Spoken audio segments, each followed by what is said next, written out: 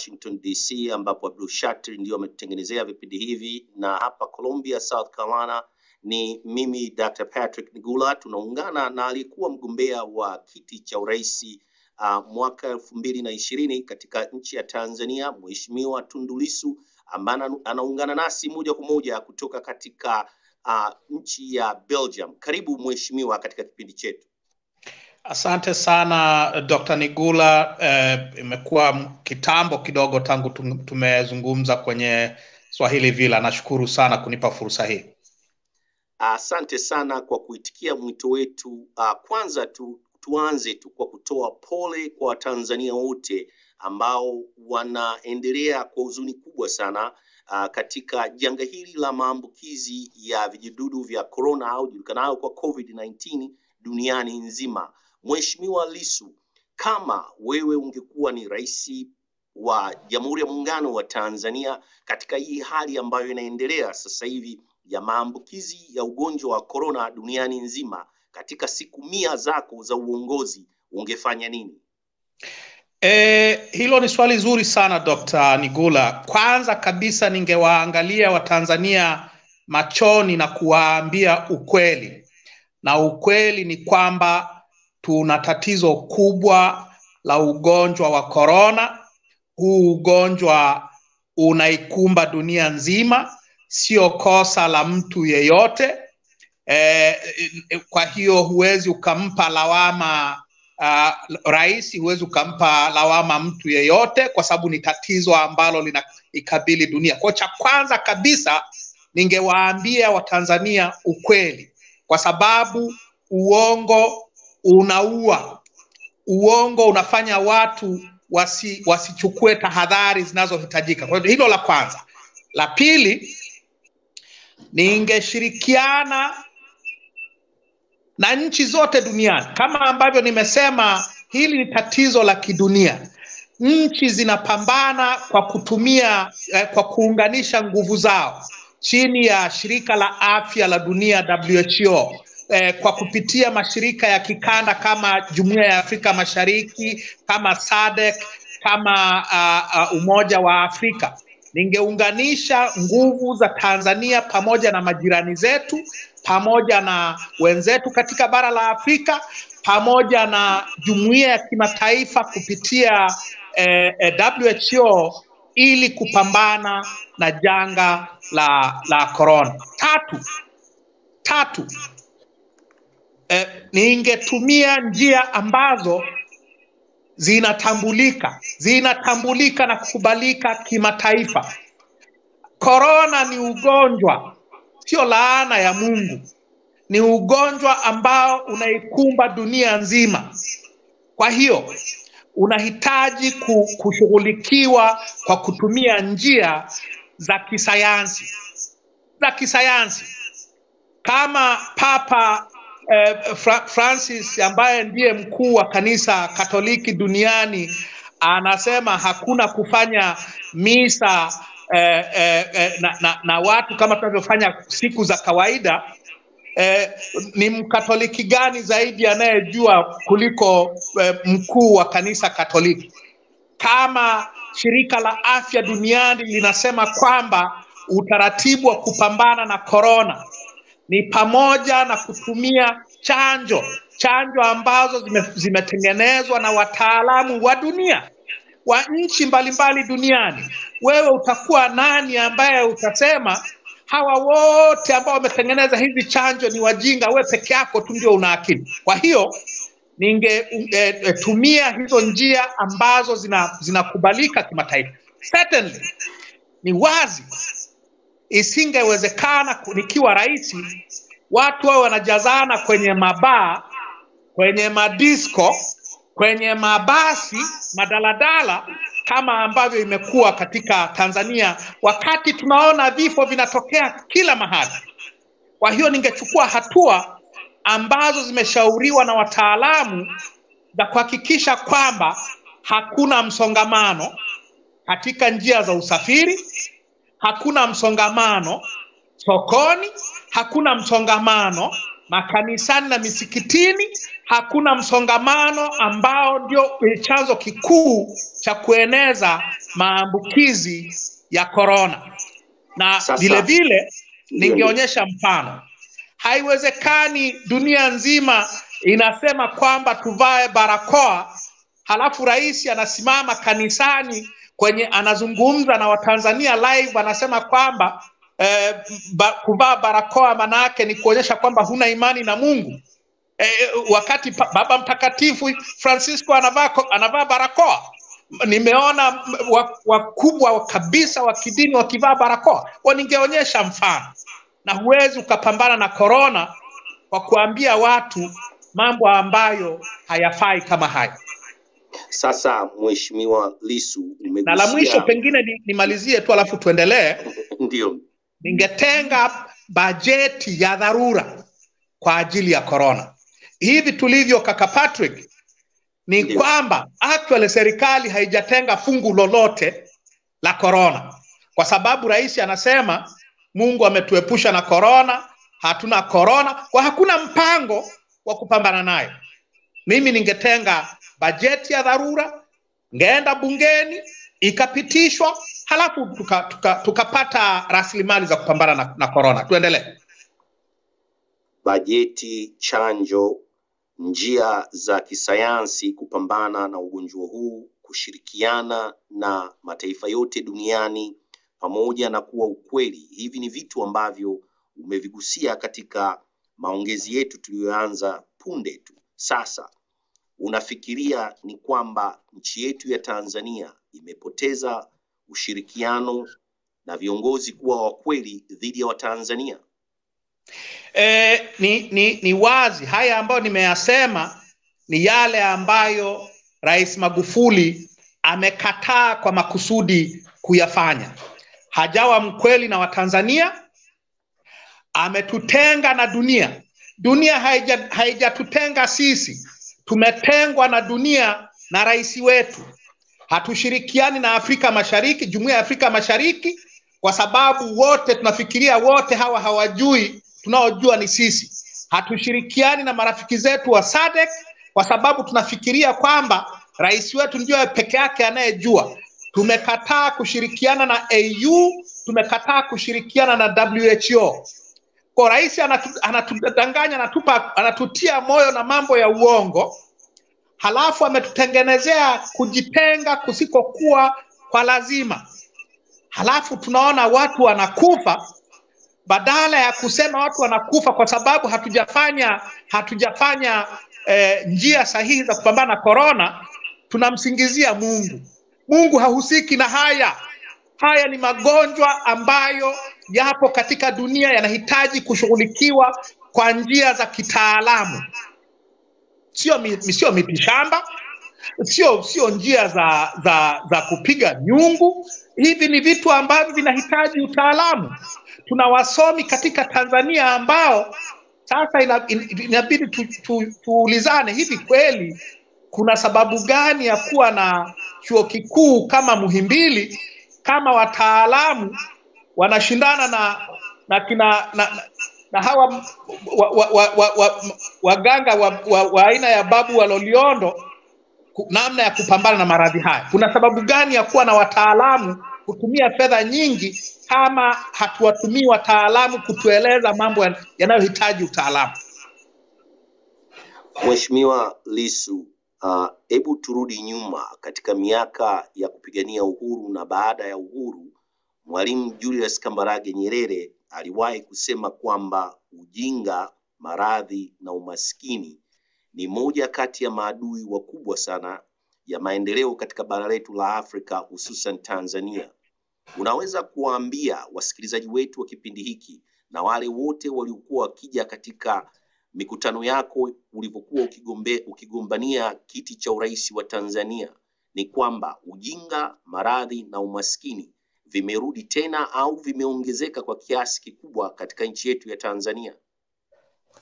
E, hili ni swali zuri sana kaka Patrick. Kwanza mwalimu alisema umaskini, ujinga na maradhi. Wewe umeniuliza umaskini na maradhi. Kuna tatizo la tatu la ujinga. Mwalimu Nyerere ha hakusema kwamba ujinga aliokuwa anauzungumzia ni ujinga tu wa kuto kujua kusoma na kuandika, ni pamoja na ujinga wa wale ambao wamepewa dhamana ya umma ili watetee maslahi ya umma, halafu badala ya, ku, ya kutumia dhamana walizozipewa ku, ku, kushughulikia maslahi ya umma wanafanya mambo mengine ambayo yanazidisha matatizo. Kwa hiyo kwa hiyo tunazungumza kwenye hili janga la la la la, la corona, tatizo kubwa hapa wala sio umaskini sana.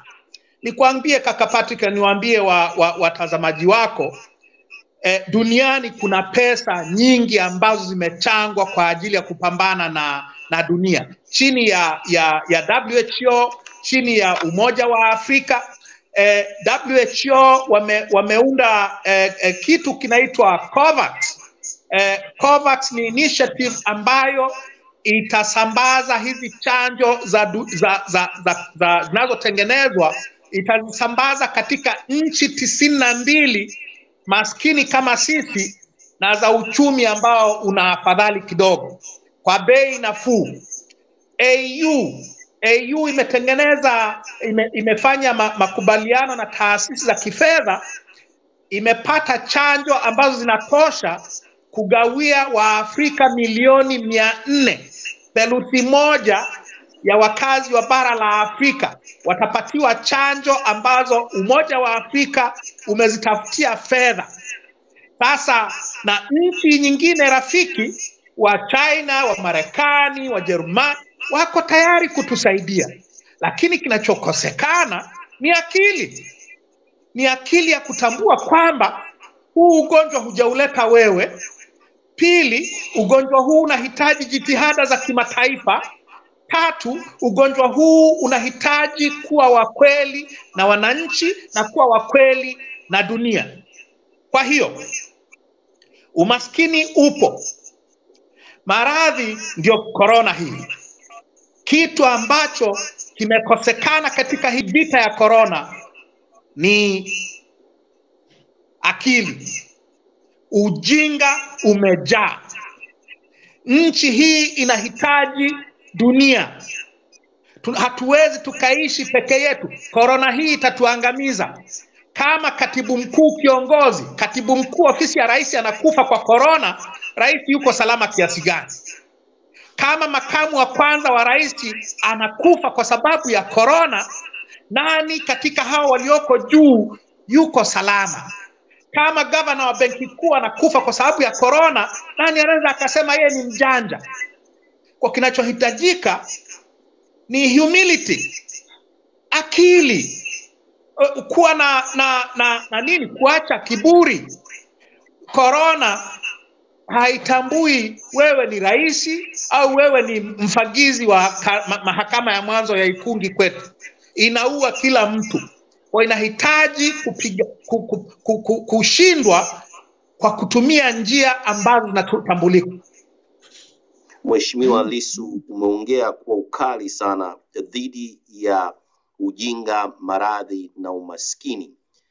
Una wito gani kwa viongozi wa Tanzania ambao wako chini ya Mheshimiwa Rais uh, John Pombe Joseph Magufuli ambao tunawaona wanakwenda katika mikusanyiko ya watu na wao wakiwa hawavai barakoa, na wewe wito wako kwa wao ni nini hasa juu ya Kwanza vitendo vyao asante, asante sana. Kwanza kwanza nigawanye wito wangu kwe, kwenye makundi makundi kama matatu hivi. Kundi la kwanza ni baraza la mawaziri. Katiba yetu katiba yetu imelipa baraza la mawaziri mamlaka ya kupitisha azimio inapoonekana kwamba rais anaweza kuwa na matatizo kichwani, anaweza akawa na ugonjwa wa akili actually. Baraza la mawaziri lina mamlaka ya kupitisha azimio na kulipeleka kwa jaji mkuu, kumwambia jaji mkuu, tunaomba uunde bodi ya madaktari wamchunguze rais akili yake, kwa sababu kwa matendo yake tuna wasiwasi kama ana akili timamu ya kuweza kuongoza nchi. Kwa wito wangu wa kwanza ni kwa baraza la mawaziri hawa hawa wanisikie, isije wasije wakasema mbona hamkusema. Baraza la mawaziri lipitishe azimio kwamba rais achunguzwe akili yake, kwa sababu haya matendo anayoyafanya si matendo ya mtu mwenye akili timamu. Kwa huo ni wito wangu wa, wa kwanza. Wito wangu wa pili, maisha hayauzwi dukani. Ha, ukifa umekufa, hakuna duka linalo unakoweza kwenda ukanunua maisha. Kwa sababu hiyo, hakuna mtu ambaye amekula kiapo cha kufa kijinga. Kuwa kiokuwa waziri au mkuu wa mkoa au mganga mkuu wa serikali sio sio kile wazungu wanaita a suicide pact. Huja, hujala, hujala kiapo cha kujitia kwenye mauti bila sababu. Kwa hiyo hawa mawaziri haiwezekani. Watu wazima na akili zao wakajitia hatara, hatarini wakahatarisha maisha yao wenyewe na maisha ya watu wengine kama alivyofanya waziri wa fedha jana Dr. Mpango. Mgonjwa wa korona, kila mtu anajua hajapona, anajitokeza hadharani, anakoholea watu hapo, kila mtu anaona huyu mtu ni mgonjwa. Hakuna mkataba wa wa wa wa, wa, wa, wa, wa kifo na, na mtu yeyote.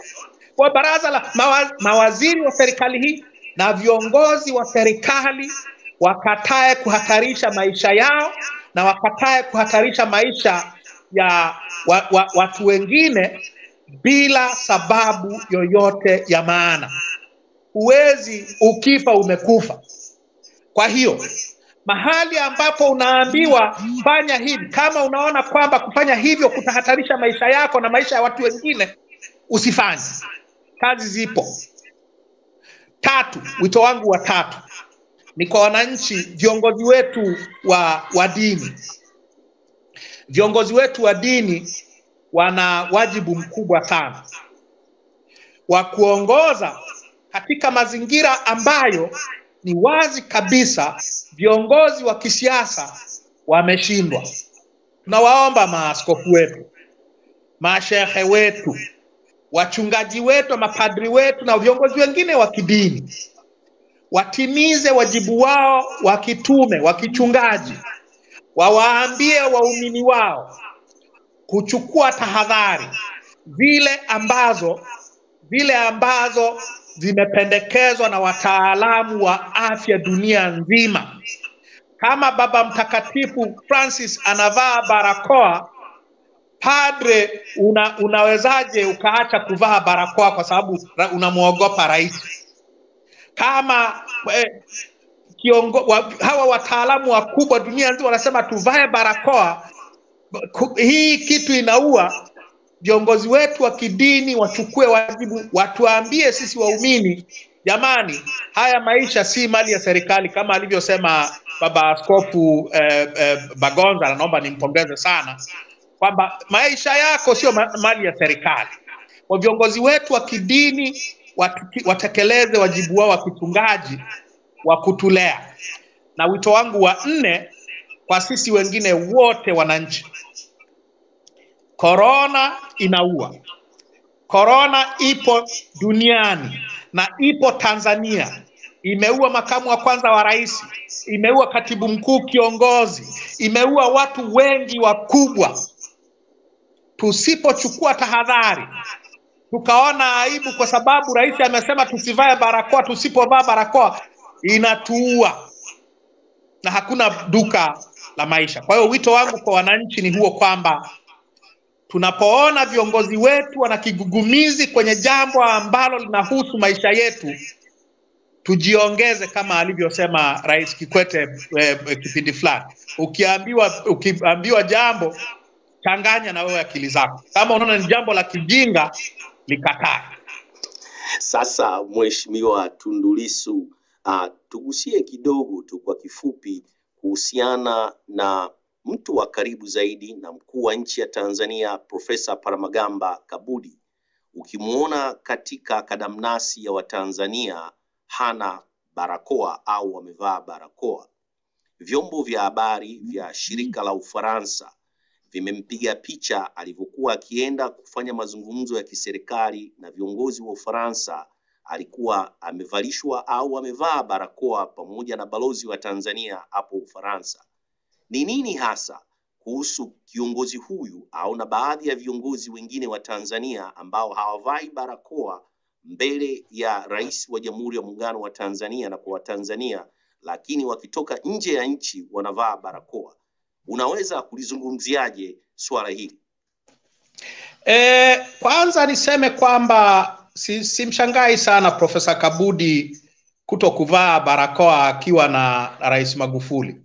Alishasema mwenyewe aliokotwa jalalani kama profesa wa sheria aliyekaa Ujerumani kusoma miaka tisa, amekuwa mkuu wa kitivo cha sheria, amekaa chuo kikuu tangu akiwa kijana, miaka ya mwanzo ya themanini. Kama yeye anafikiria ameokotwa jalalani, kuna kitu gani cha kushangaza unapomwona anajiingiza hatarini, havai barakoa katika mazingira ya hatari kama haya? Hilo la kwanza. La pili ni kuonyesha huo huo huo unafiki, unafiki, unafiki wala sio sahihi sana. Wanakwenda Ulaya huku, hawezi akatembea bila barakoa. Akija Ulaya lazima avae barakoa, kwa sababu asipovaa barakoa atakamatwa na polisi. Sisi hapo, usipokuwa na barakoa unakamatwa na polisi, huingii kwenye treni, huingii kwenye basi, huingii dukani, hutembei mtaani. Kwa anakuja huku anafuata sheria, kwa sababu huku kila mtu anajua ni hatari kuto kuvaa barakoa. Anakwenda nyumbani ambako katibu mkuu wa rais amekufa, makamu wa kwanza wa rais amekufa, hakuna chochote kinachoendelea cha maana kwenye hospitali zetu kuhusiana na korona, halafu anaacha kuvaa barakoa, anajitia kwenye hatari. Ni mentality ile ile iliyomfanya aseme ameokotwa jalalani, na ni vizuri kama nilivyosema mwanzoni, katika mazingira haya wananchi hatuna mkataba na serikali wa kutoa maisha yetu bila sababu yoyote. Maisha ni ya kwetu, ni mali yetu. Kwa unapomwona waziri ana behave namna hii, una sababu ya kusikiliza ushauri wao kwenye jambo ambalo na wewe unaweza ukaongeza za kwako ukaelewa cha kufanya. Sasa Mheshimiwa Lisu, hebu turudi nyuma mwaka elfu mbili na ishirini wakati ulivyokuwa ukifanya kampeni zako za kuwania kiti cha urais wa Jamhuri ya Muungano wa Tanzania. Unawaambia nini sasa Watanzania wote kwa ujumla, wale maelfu na maelfu ambao walikuja kusikiliza wakati umebeba agano lako la uhuru, haki na maendeleo ya Watanzania, na tumeona kwa kipindi hiki kifupi toka mwezi wa kumi na mbili mpaka tulipo sasa hivi maelfu au mamia ya Watanzania ambao hakuna idadi kamili inayojulikana wameshapoteza maisha yao kwa ugonjwa huu wa korona. Sasa kwa kifupi tu, unawaambia nini wale Watanzania wote sasa hivi? Ni kama unafanya kampeni, unawaambia nini wafanye nini ili kujikinga na, ugonjwa huu ambao ni hatari sana? Na, nashukuru sana kwa sababu umeuliza eh, habari za kampeni mwaka jana na na wiki hii nimezungumza sana juu ya ya, ya hili swala na nimeona baadhi ya watu wamenishambulia wame kwamba mbona kwenye kampeni ukuvaa barakoa. Wakati tunafanya kampeni mwaka jana hakukuwa na hii wave ya vifo ambavyo tunaiona sasa hivi, Ha, sio tu Tanzania, katika nchi kadhaa, nchi mbalimbali za Afrika na hata za, za, za, za Ulaya huku. Ile wave ya kwanza iliyoanza mwaka jana mwezi mwezi eh, Januari by summer, majira ya joto kali huku ilikuwa imefanya nini? Ilikuwa imekwenda china na vifo vilikuwa vilipungua. Vili na Tanzania kwa kweli, katika kipindi chote hicho hakukuwa na vifo hivi vinavyo nani vinavyotokea, lakini wataalamu walisema kwamba tunapoingia kwenye winter ya elfu mbili na ishirini ishiri na moja second wave inakuja na itakuwa mbaya zaidi. Kwa hiyo wanaosema kwamba mbona wewe hukuvaa wakati ule, hakukuwa na vifo kama hivi vya sasa hivi. ile ile wave ilisha ilikuwa imekwenda chini, sio kwa sababu ya maombi, ni kwa sababu ya ya ya sababu za nini za mazingira, majira ya, ya, ya, joto, mazingira makavu eh, wataalamu wa, wa, na wataalamu walisema. Sasa katika mazingira haya ambayo watu wanakufa daily, jana baba yangu baba mkwe wangu amefariki by the way. Kwa, kwa hii kitu ni personal nina, faha, nina marafiki ambao wamekufa. Mimi ni rais, ni rais wa, wa chama cha wa, mawakili. Kila siku nasoma obituaries za mawakili, it is personal. Sasa leo nina, nina wa, wa, wasihi wa Tanzania, usiingie kwenye daladala iliyojaa, usiende ba usiende kanisani au msikitini kama hakuna utaratibu wa, wa, wa kukaa mbalimbali. Usiende kwenye misiba, kwa sababu kwa sababu huko penye mikusanyiko ndiko tunakosambaziana korona. Chukua tahadhari, linda maisha yako, linda maisha yanayokuhusu, linda maisha ya watu wengine. Tukifanya hivyo tukafuata masharti ya wataalamu, tutashinda hii vita. Tukijifanya hamnazo kama ambavyo nimeona wa, wa, wa Kenya wanasema Watanzania wana, wanajifanya hamnazo, tukijifanya hamnazo tutakwisha, tutakwisha. Sio swala la Mungu. Watu wanao wanaomtumia Mungu kuficha udhaifu wao hawatufai wanaoita jina la Mungu bure wakati hawatimizi wajibu wao. Imeandikwa usilitaje jina la Mungu wako bure. Tutumie njia, tutumie utaalamu ambao Mungu ametupa, maarifa ambayo Mungu ametupa ili tuweze kupambana na janga la korona. Tukifanya hivyo tutasalimika. Tukijifanya hamnazo, tukaenda kunywa kikombe cha babu kama mwaka fulani, korona itatumaliza. Korona itatumaliza. Hapa Marekani wamepoteza zaidi ya watu laki tano na zaidi ya watu milioni ishirini na nane wameambukizwa na virusi hivi. Hebu turudi katika Wizara ya Afya Tanzania. Tunaona ya kwamba ni moja kati ya wizara kubwa sana ambayo inaongozwa, niseme tu, na watu ambao siwezi kuwataja majina yao, labda wanahitaji ushauri mkubwa kutoka kwa Shirika la Afya Duniani na CDC ili kuweza kuokoa maisha ya Watanzania ambao wengi hawana hatia na maarifa au knowledge juu ya maambukizi ya ugonjwa huu kama ulivyogusia nyuma. Kama ungepewa dhamana ya urais, unaitazama vipi Wizara ya Afya ya Tanzania kwa wakati huu? E, nilisema ujinga sio mali ya wasiojua kusoma na kuandika tu, na mfano mzuri wa kauli hiyo ni waziri wa afya na watendaji wa wizara ya afya sasa hivi. Tuna waziri wa afya ambaye ni daktari, daktari aliyesom, aliyesomea ana kisomo kikubwa tu cha udaktari, lakini hana tofauti na mtu mwingine yeyote ambaye hajaenda shule anayefikiria kwamba eh, tukipiga nyungu tutapona korona.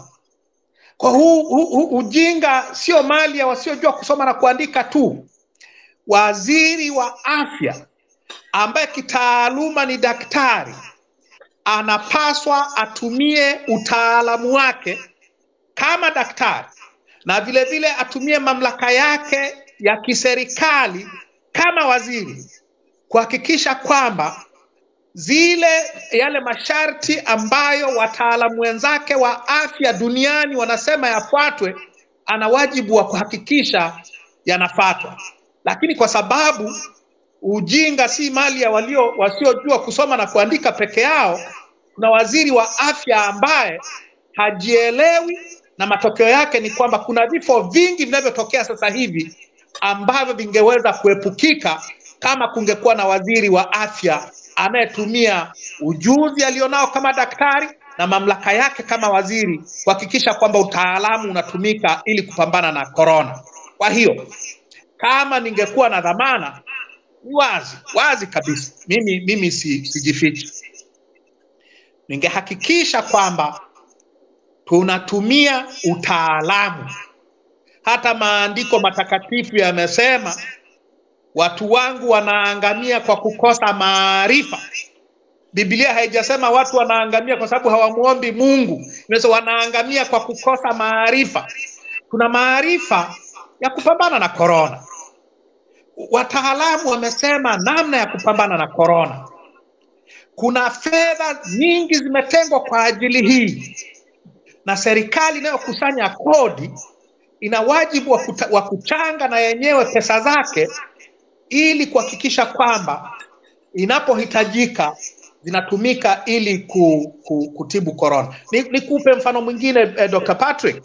Ndio, ndio. Leo hii Tanzania nzima ukiuliza hivi ni wapi ambapo kuna vituo vya kupimia korona, hakuna, huwezi ukaambiwa, kwa sababu rais alishasema mwaka jana kwamba korona imekwisha, akasema ni marufuku kupima korona, ni marufuku kutoa takwimu, ni marufuku kueleza watu ukweli juu ya korona.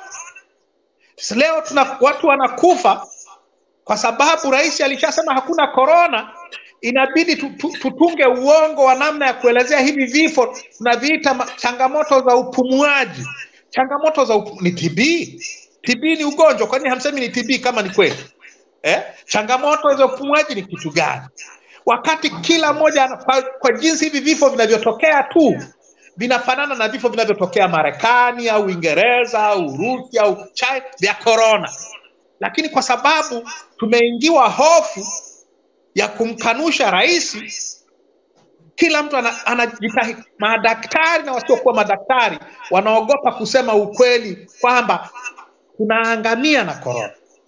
Sasa ningekuwa ninge na dhamana haya yasingetokea, yasingetokea kabisa.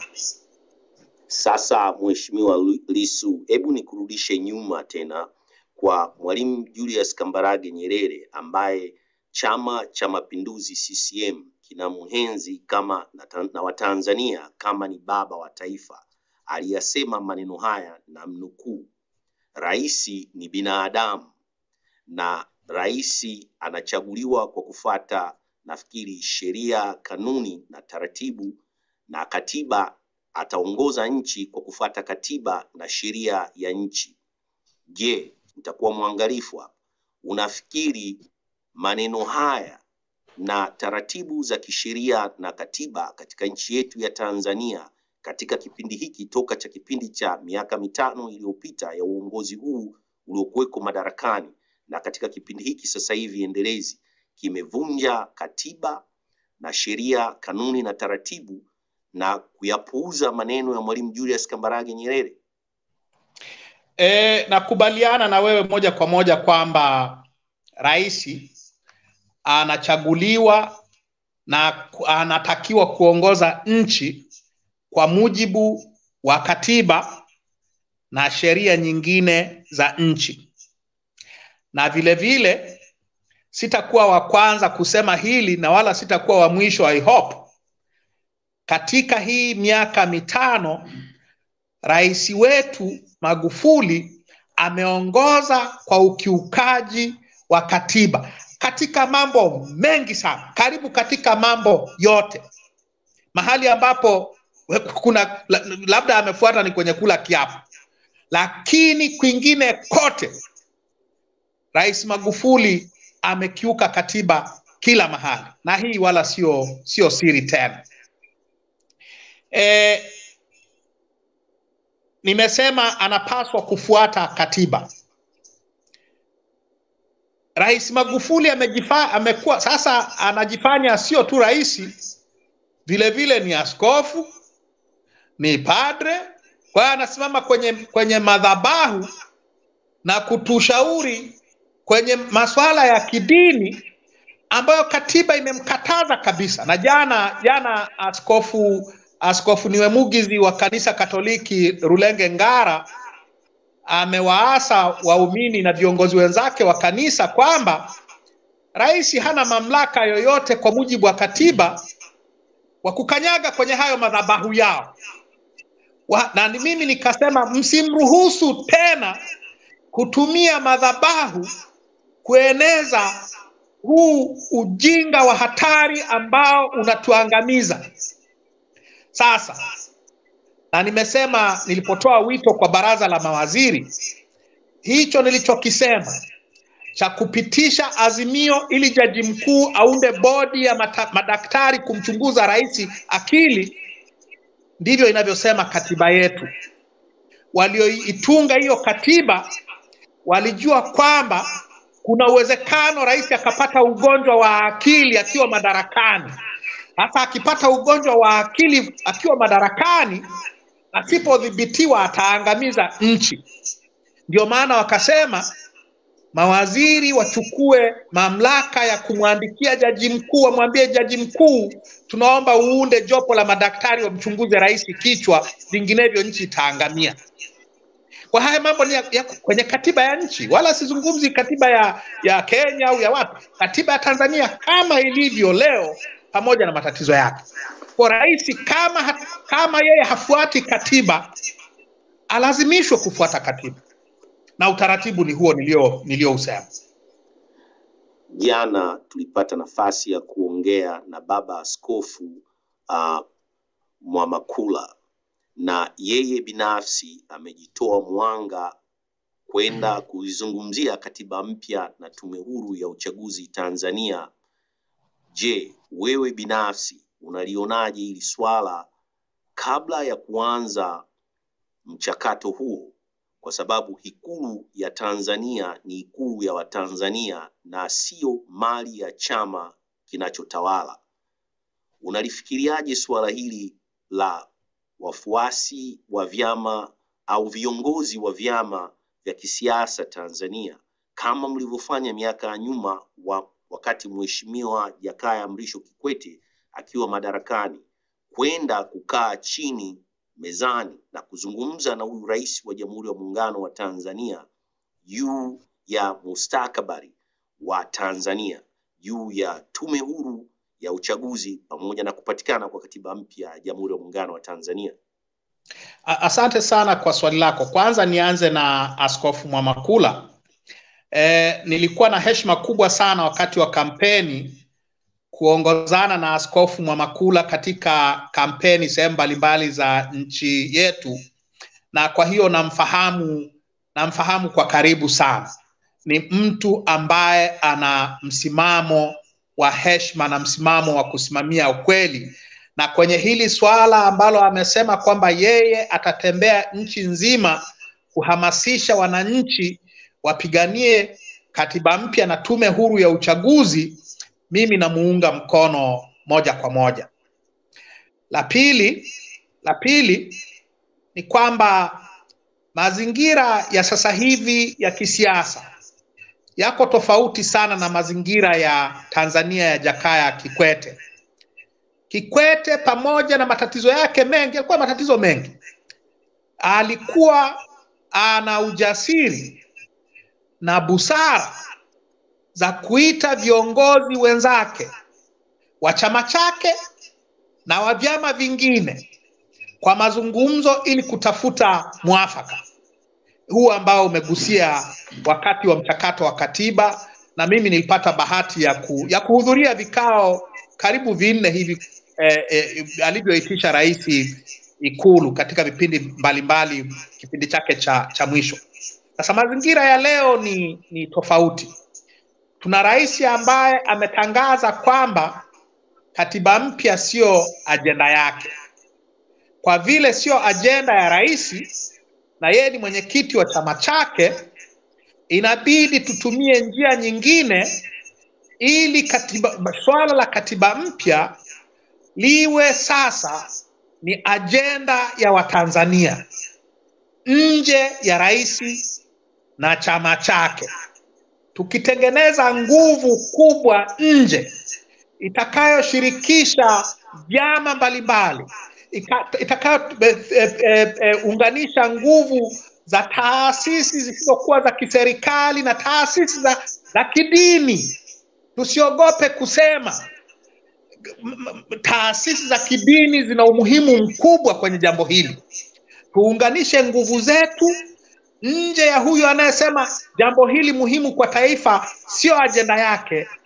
Tumwambie mheshimiwa, hii ni ajenda ya Watanzania. Kama wewe unasema si ya kwako, sisi ni ajenda yetu. Tutatengeneza katiba mpya bila ushiriki wako. Twende Sasa, huko. sasa kwa kumalizia, najua tumeongea kwa, kwa muda mrefu kidogo. Uh, turudi nyuma katika uchaguzi wa mwaka elfu mbili na ishirini au uchaguzi mkuu wa urais, ubunge na udiwani uliopita. Unafikiri Chama cha Mapinduzi walishinda uchaguzi huo mkuu? Chama cha Mapinduzi na Rais Magufuli hawakushinda uchaguzi mkuu, walitangazwa tu, walitangazwa na tume ambayo imeteuliwa na rais, wametangazwa na wasimamizi wa uchaguzi wa majimbo ambao wameteuliwa na rais, na waliambiwa na rais. Uzuri uzuri, Magufuli Magufuli wala huhitaji ushahidi wa kwenda kufichua kwenye mafaili yake, fuata kauli zake hadharani. Magufuli alisema hadharani kwamba hawezi akawachagua hawa akawateua hawa was, wa, wa, wasimamizi wa uchaguzi hawa wakurugenzi, akawapa mishahara, akawapa magari mazuri, halafu akawaruhusu watangaze wapinzani wameshinda uchaguzi. Hawakushinda uchaguzi, walitangazwa tu, na ili hilo litokee ilibidi wafanye mambo ambayo hayajawahi kufanywa katika historia yetu yote ya chaguzi tangu mfumo wa vyama vingi vya siasa. Sisi tulikuwa na mawakala, tuliweka mawakala karibu kila kituo nchi nzima, lakini mawakala wetu karibu elfu sabini na tano kati ya mawakala elfu themanini na mia moja ishirini na tano mawakala wetu zaidi ya elfu sabini na tano aidha hawakuruhusiwa kabisa kuingia kwenye vituo au wako elfu hamsini na saba na mia tisa. Wengine waliobaki elfu kumi na nane na ushee waliingia lakini hawakumaliza kwa sababu walitolewa nje kwa uchaguzi ulibakwa demokrasia ilibakwa. Hawakushinda uchaguzi. Na ndio maana kwa matendo haya ambayo tunayaona wakati huu wa korona rais ana, ana, anafanya kana kwamba ana kisasi na watanzania. Na mimi nafikiri kwamba ana kisasi kwa sababu anajua watanzania hawakumchagua. Alitangazwa tu na wale alio aliowaweka ili wa wamtangaze. Sasa kwa, kwa kumalizia, uh, Rais Jakaya Mrisho Kikwete ni mmoja kati ya viongozi ambao atakumbukwa sana, na wewe mwenyewe binafsi ulisema kwamba alikuwa ni anatumia busara na alifanya na ulihudhuria vikao vinne katika Ikulu ya Tanzania.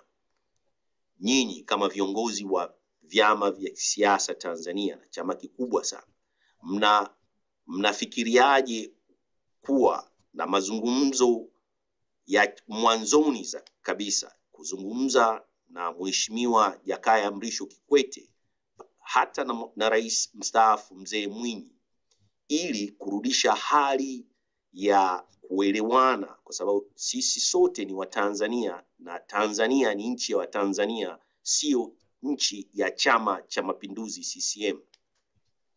Asante sana kaka. Hilo hilo jambo haliwezekani. Haliwezekani kabisa wala tusi tusipoteze muda mrefu. Ndio, kama ingekuwa tuna viongozi ndani ya ya chama cha mapinduzi wastaafu au ambao bado wako madarakani wa kuweza kumwambia rais huko unakoenda sio kwenyewe wangeshafanya hivyo. Ukweli wa mungu ni kwamba kikwete na mwinyi wanamuogopa magufuli viongozi wengine ndio maana tulimwona dr mpango jana a, a, a, a, hawezi hata kuzungumza kwa sababu ni mgonjwa lakini inaelekea ameambiwa toka onyesha kwamba hujafa ili pengine hizi kelele kwamba eh, kuna korona zitapungua, wanamwogopa Magufuli. Eh, kwa hiyo ku, ku, ku, kuambia Kikwete eh, eh, haitawezekana. Mimi navyoona haitawezekana. Kinachowezekana ni kigumu, lakini kinawezekana. Tutengeneze nguvu nyingine nje ya hawa ambao wanamwezesha Magufuli kwa, kwa ukimya wao, kwa kuto kutimiza wao wajibu, wanamwezesha kuendelea kututia katika hatari hizi. Tukifanya hivyo, tukajenga nguvu zetu wenyewe, yeyote atakayekuja tutamweka pembeni. Lakini kusema kwamba tumtegemee Kikwete, wewe mwenyewe umeona zile picha za wakati wa, wa msiba wa Maalim Seif ndio ndio katika lile jopo la mbele ni ma, Kikwete peke yake alikuwa amevaa barakoa. Siku ambayo wanazika makamu wa rais aliyekufa kwa korona, siku ambayo katibu mkuu kiongozi anayetembea anayefanya kazi na rais kwa karibu amekufa kwa korona, wamekaa watu wakubwa wenye akili zao, ni Kikwete peke yake akuwa amevaa barakoa. Sasa hawa watu Waswahili wasema sikio la kufa halisikii dawa. Tutafute yale masikio yanayoweza kusikia dawa. Kikwete peke yake amevaa barakoa mbele ya viongozi wote wakubwa wa serikali ya Jamhuri ya Muungano wa Tanzania hawajavaa barakoa. Sasa kwa- kumalizia tu kwa kifupi, tunakwenda wapi hapa tulipo sasa hivi kama nchi ya Tanzania? Wito wako na maneno yako kwa kifupi tu ni nini? Wito wangu kwa Watanzania, tuongeze kelele. Maaskofu wetu, mashehe wetu, viongozi wetu wa kisiasa, popote pale walipo, sisi wenyewe wananchi wa kawaida na simu zetu, tupige kelele, tusije tukakubali kukaa kimya katika mazingira ambayo maisha yetu yanatiwa hatarini kwa sababu ya mtu mmoja ambaye inaelekea kichwa chake hakiko sawasawa. Asante sana. kelele na tuchukue tahadhari. Asante sana. Huyu basi ni Mheshimiwa Tundu Lissu, mwenyekiti wa Chama cha Demokrasia na Maendeleo Chadema, na aliyekuwa uh, mgombea wa kiti cha urais Tanzania mwaka elfu mbili na ishirini. Asante sana kwa kuungana nasi moja kwa moja kutoka katika nchi ya Belgium. Asante sana kaka Patrick, mimi ni makamu wa mwenyekiti, mimi sio mwenyekiti, usije ukasababisha mtafaruku. Asante sana kwa kunirekebisha. Asante sana. Asante sana kaka. Asante sana. Haya.